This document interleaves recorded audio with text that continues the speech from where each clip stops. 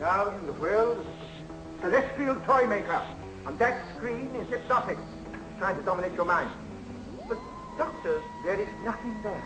You understand me? There is nothing there at all. You must believe me. Who's the celestial toy maker? He's a power for evil. He manipulates people and makes them into his playthings. Whatever you do, neither of you must look at that screen. It's a trap. What a spoilsport you are, Doctor. They like my memory window. You... I might have guessed.